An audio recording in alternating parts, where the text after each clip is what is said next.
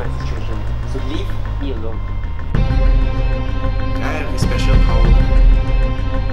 Hysterical strength. If you may call it. Better not hurt him. If not, I swear I will.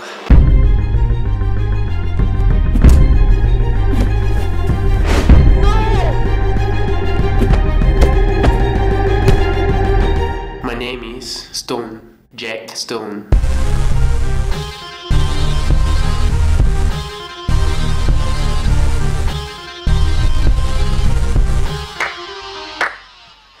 Hey old buddy, you arrived just in time for the final act.